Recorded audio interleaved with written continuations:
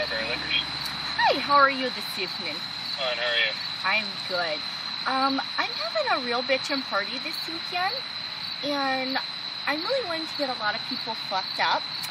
So I was just wondering if you guys had kegs. Yes, we do.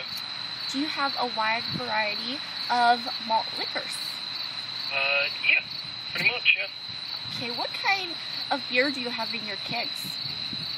Uh, typically, we, unless we sell out of them, but uh, I can reserve them for, for you as well.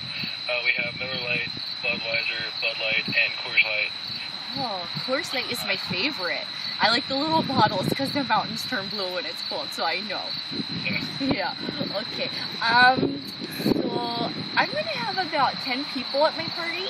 I maybe guess, I don't know, I did people in the RSVP. Um, so how many kegs do you think I should get? Just 10 people, you could finish one, but I think you could finish two. Yeah, we finished one before.